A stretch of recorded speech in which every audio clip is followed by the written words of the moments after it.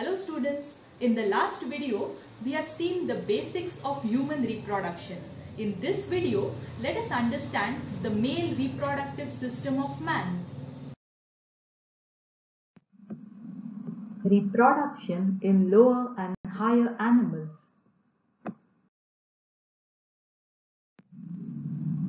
This video contains the textual diagrams from the Maharashtra State Board textbook of class 12 biology. Also, the images and diagrams from all the websites mentioned here have been used in this video.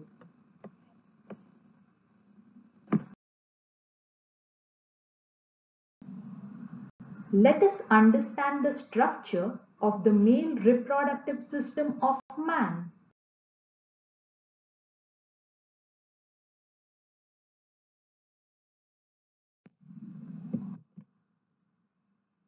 The male reproductive system can be broadly divided into these parts.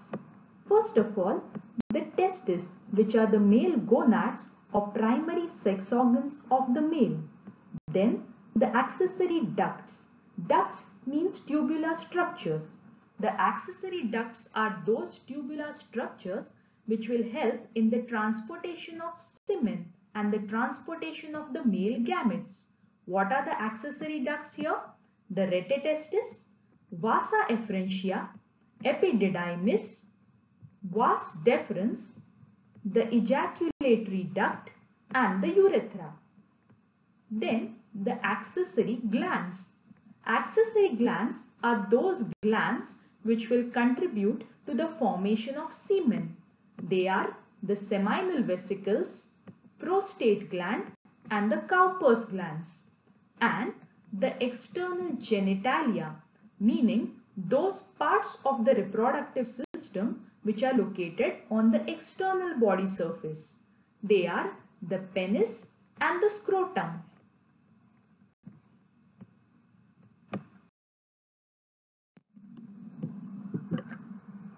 Now let us study the male reproductive system. We begin from the primary sex organs of males that is the testis.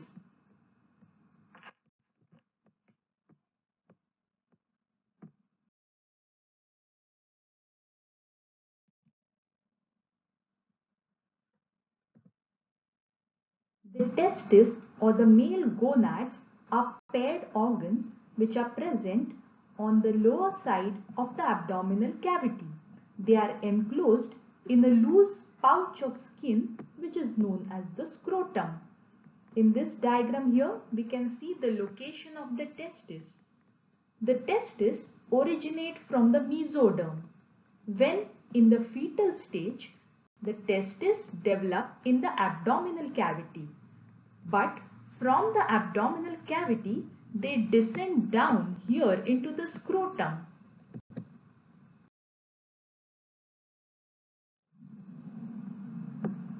The testis descend from the abdominal cavity into the scrotum through a passage which is known as the inguinal canal. Here we can see the inguinal canal. Now what if the testis fail to descend into the scrotum? This results in a condition known as cryptorchidism. In the later part of this video, we shall discuss in details about cryptorchidism.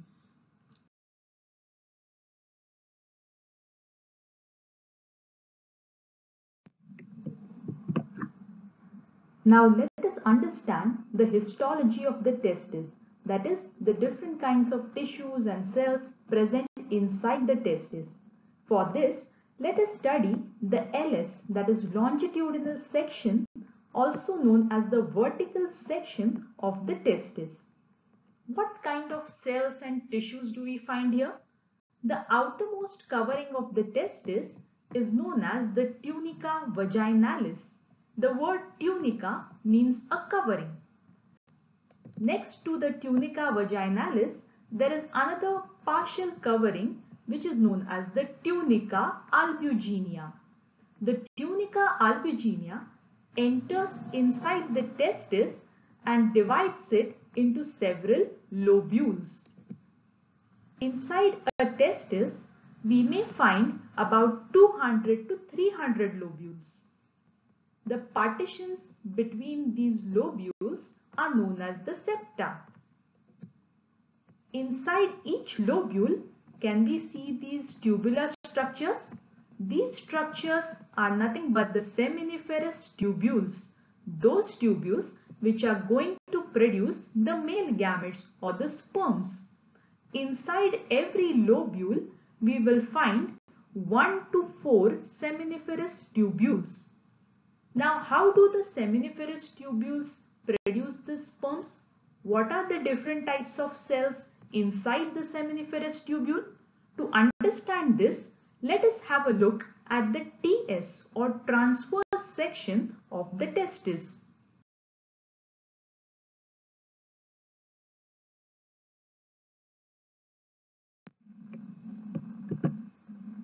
This is the transverse section of the testis. Here we find many circular structures. These are the sections of seminiferous tubules, the tubules which will be producing the male gametes or the sperms. And in between these seminiferous tubules, embedded in the connective tissue, we see some groups of cells. These cells are known as the interstitial cells or the Leydig cells.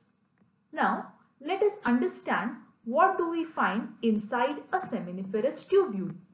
The seminiferous tubule shows an outermost layer called as the germinal epithelium. The germinal epithelium will divide and redivide to produce the different developing stages of the sperms. The germinal epithelium rests on a membrane known as the basement membrane.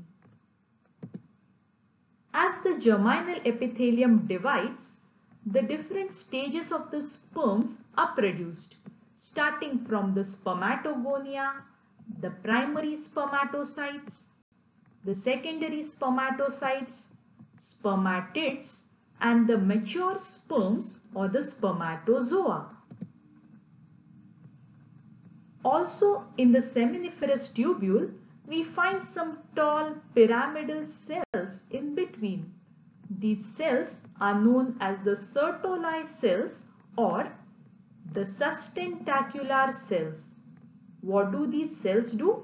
These cells provide nourishment to the different developing stages of sperms. Also, they provide a support internally to the seminiferous tubule. The sperm bundles are found attached to the Sertoli cells. These are the sperm bundles. The sperms, the matured sperms are present in such a way that their heads are resting on the Sertoli cells attached to the tip of the Sertoli cells and their tails are directed inwards towards the lumen or the central part of the seminiferous tubule. Now let us come back to the interstitial cells or the Leydig cells. These cells are endocrine in function. They produce the male hormone which is known as testosterone. Testosterone is that hormone which is responsible for producing the secondary sexual characters of the male.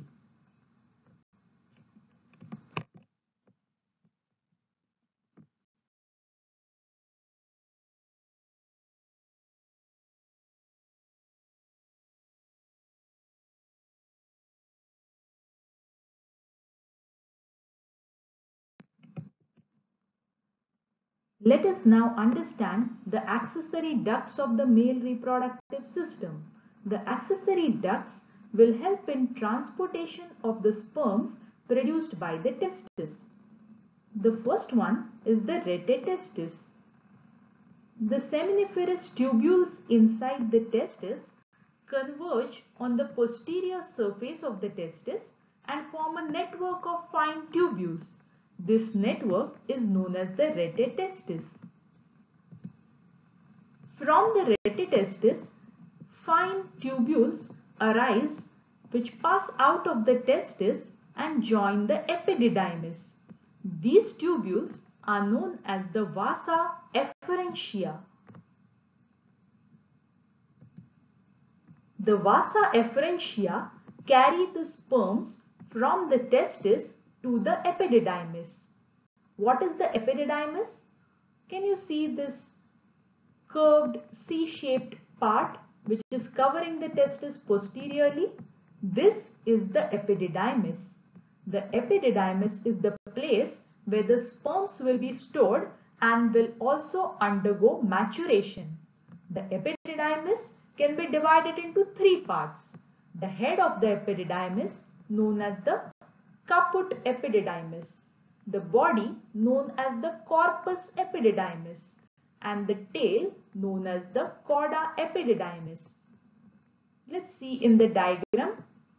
This is the caput epididymis, this is the corpus epididymis and this tail is the cauda epididymis.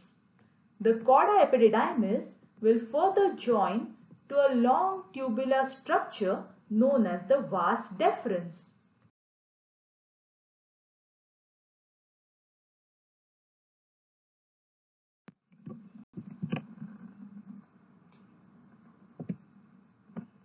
The vasa deferentia are paired ducts arising from the cauda epididymis of either sides.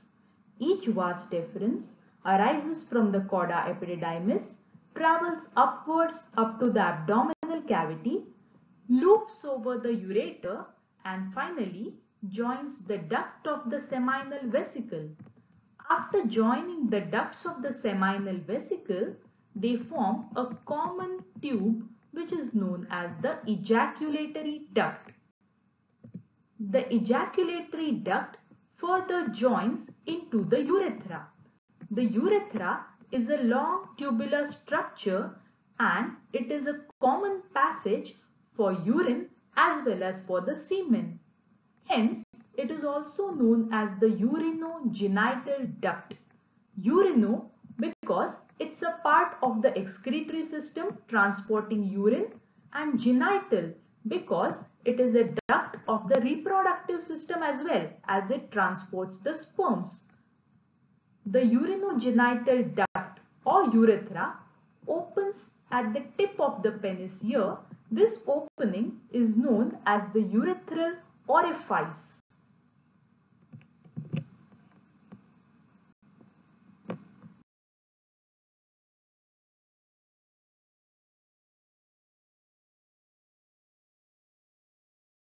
Now let us study the accessory glands, those glands which will contribute to the formation of semen. The first ones in these are the seminal vesicles.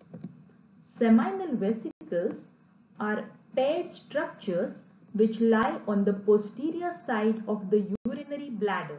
You can see here this is the urinary bladder and these are the seminal vesicles. The seminal vesicles produce an alkaline fluid which is the seminal fluid. Out of the total semen volume, 60% is formed by the seminal fluid. What does the seminal fluid contain? It mainly contains fructose, fibrinogen and prostaglandins. Fructose being a sugar or a carbohydrate provides energy for the movement of the sperms. Fibrinogen, a protein, brings about the coagulation of the semen so that it can be propelled quickly in the female reproductive tract. And prostaglandins bring about movements like reverse peristalsis in the vagina, uterus, so that the sperms can move faster towards the female gamete.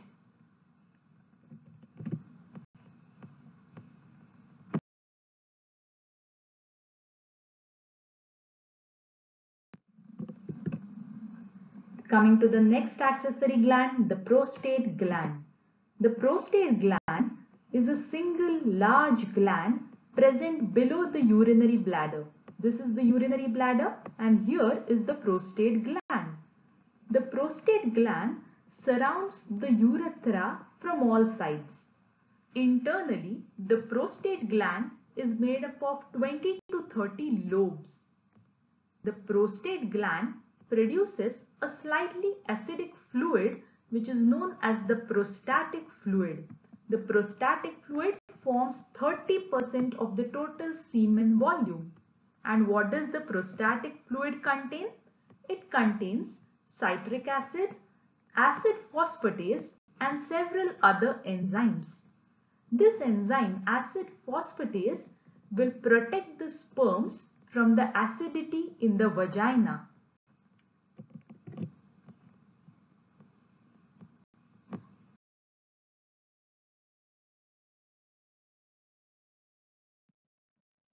Coming to the Cowper's glands or the bulbourethral glands.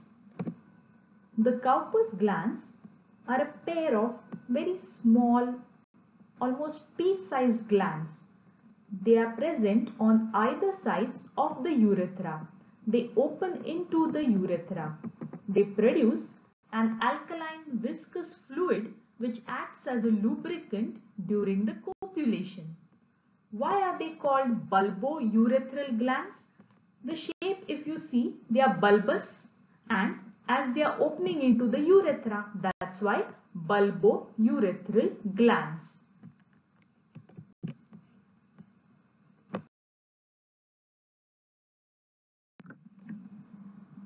The semen is the ejaculatory fluid of the male reproductive system it is a viscous milky fluid and it consists of sperms or the male gametes, the secretions produced by the epididymis and the secretions produced by the accessory glands that is the seminal vesicles, prostate gland and the Cowper's glands.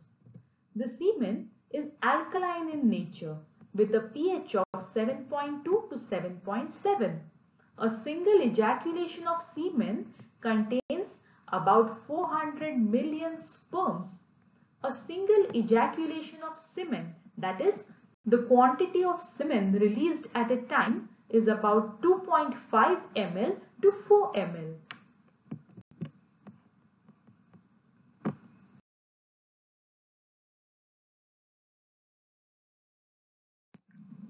Coming to the external genitalia, external genitalia means those organs of the reproductive system which are present on the external body surface.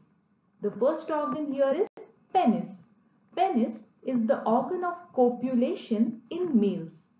Copulatory organ means that organ which will transfer the male gametes inside the body of the female or into the female reproductive tract. As you can see here in the diagram, the penis is an elongated cylindrical muscular structure. It shows three bundles of erectile tissue. It shows a pair of corpora cavernosa and corpus spongiosum. The corpora cavernosa are present on the lateral and the posterior sides of the penis and in the middle is the corpus spongiosum. The urethra passes throughout the length of the penis and opens at the tip of the penis. The penis contains large number of blood sinuses. On sexual arousal, these sinuses get filled with blood and the penis elongates and becomes hard and erect. See this expanded portion of the penis? This expanded tip of the penis is a soft sensitive structure known as the glans penis. The penis is covered and protected by a loose retractable fold of skin which is known as the prepuce or the foreskin.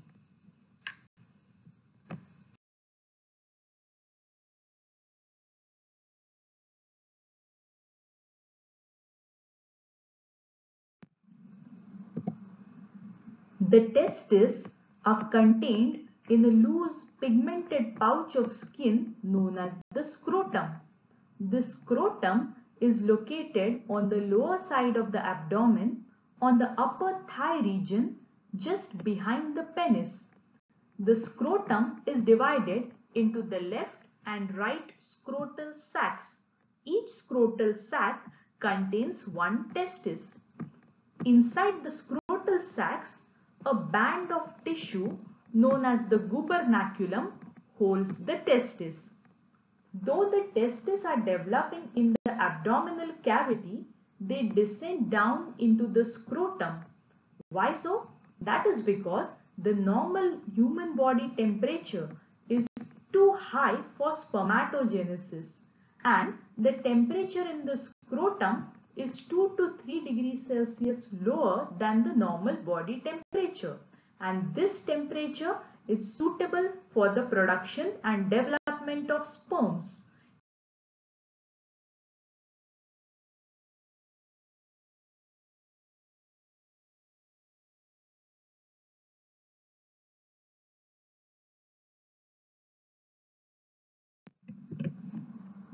The testes are suspended into the scrotum with the help of the spermatic cord.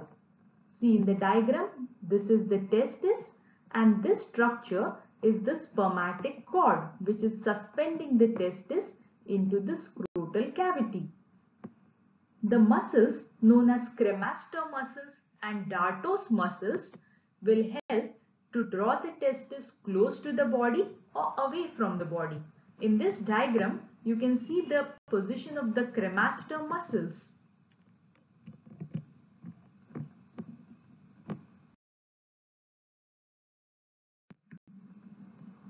Cryptorchidism.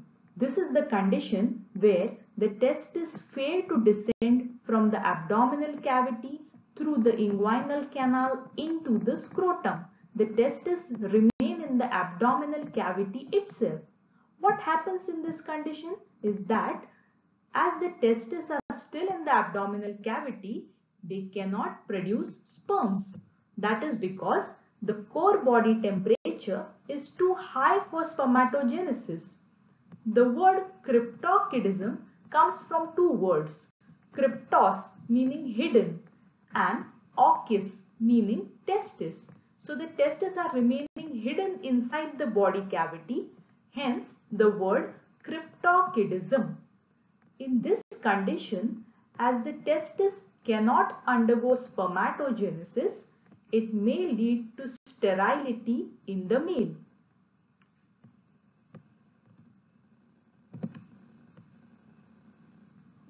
Another condition is known as inguinal hernia.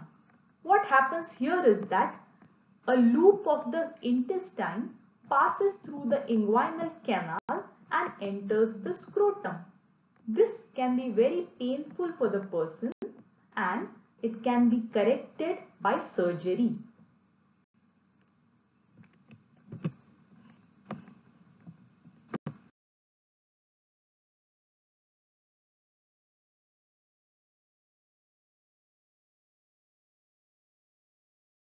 So that was an overview of the human male reproductive system. In the next video, we will be discussing the female reproductive system.